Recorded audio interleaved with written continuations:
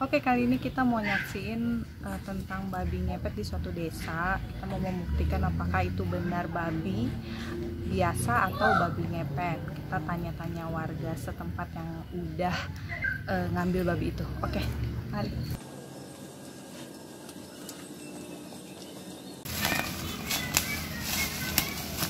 Gimana nih Pak? Katanya Bapak nemuin babi.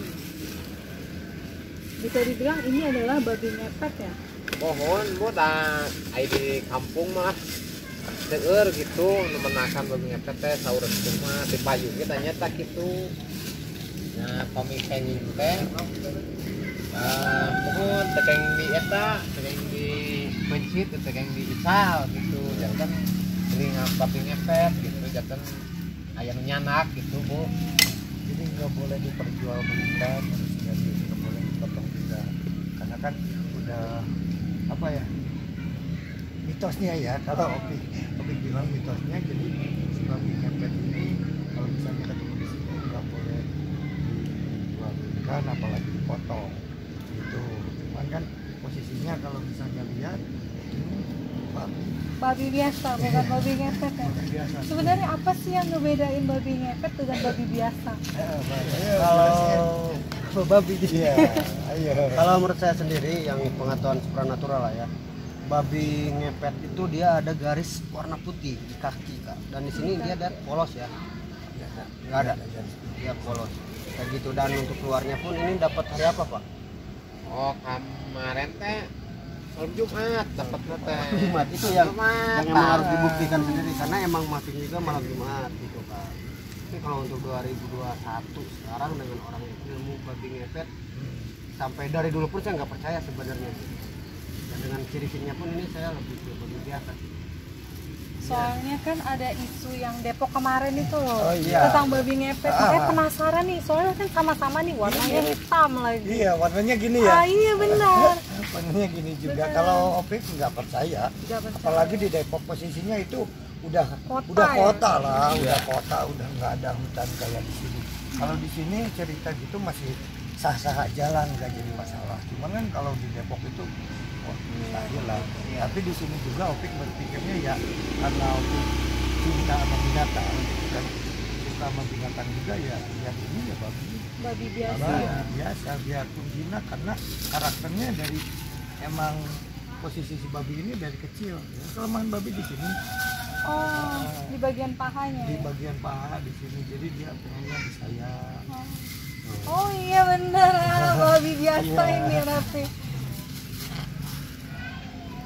Berarti ini termasuk babi hutan ya? Iya babi hutan. Oh cuman mungkin karena apa ya karena kemarin sempat booming akhirnya orang nemu juga seperti tadi jamnya terus banyak dari sebelumnya kata si abah orang-orang banyak kehilangan uang. Saya sih lebih kayak cocok logi ya gitu. Jadi pas itu momennya. Ya sudah kayak gini aja malam Malamnya Ngintip-ngintip banyak. gitu. Dan sok anu menakan wae tah. Di kampung pan kami eta teh anger wah cenah ieu mah pasti cenah ujung babi ngepet cenah. Nah, geus teu ulah dipaihan. Ulah dijual cenah ai nu nebus. Oh, pajaran warga teh. jadi- Warga disimpen. nah jadi kan mitosnya ya kita balik lagi ke mitosnya kalau misalnya misalnya ini benar babi ngepet biasanya kalau udah ketangkap biasanya ada yang nyari oh. Ada yang nebus keluarganya gitu kan Mbak? Ya, itu tapi ngantosan, ya pilih ayam Nah, nebus. takutnya gitu kalau warga di sini takutnya nggak mau eksekusi ke satunya buat kelestarian keduanya ya itu takutnya ini benar-benar real dari eh, babi ngepet takutnya ini orang. Iya. Tapi kalau opini pribadi terus meyakini lah bahwa ini ya tapi kita nanti bakal langsung pembuktiannya iya iya. Iya. Kalau pembuktiannya tuh bisa kayak apa sih untuk babi ngepet nanti kita bakal potong. Oh kalau untuk babi ngepet dipotong baru bisa dibuktikan? Apa berubah wujud atau gimana? tahu, biasanya berubah wujud ya. kalau ya. kalau di ular biasanya kalau opik dapat ular yang yang mistis lah. Iya. dapat ular yang ada penghuninya. Kalau orang sekarang bilang ular ada penghuninya biasanya disimpan dua tiga hari dia nggak ada hilang. Oh. Kalau di babi nggak tahu mungkin dipotong gitu ya. Potong. Oh.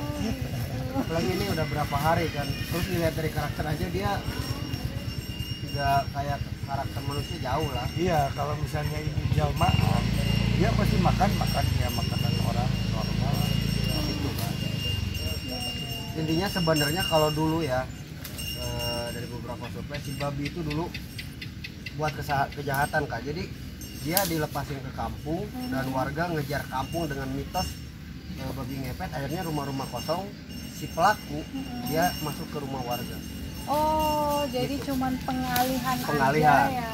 Jadi kayak gitu sebenarnya pengalihan tapi kita, kita tidak tahu tapi saya lebih yakin babi biasa sih memang gimana Bang?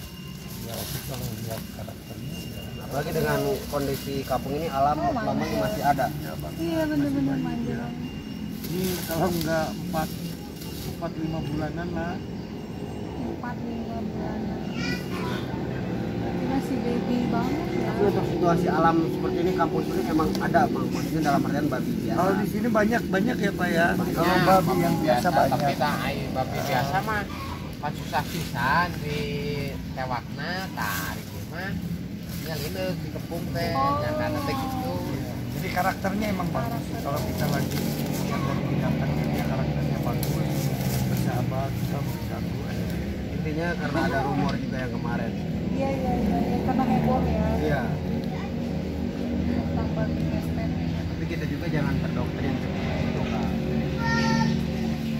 Oke ternyata ini adalah babi biasa, babi hutan, bukan babi ngepet. Di tahun 2021 ini mungkin kita nggak pernah lihat ya babi ngepet yang sebenar-benarnya yang bisa berubah jadi orang. Tapi eh, menurut eh, Bayu dengan Aopik mengatakan ini benar-benar babi biasa. ya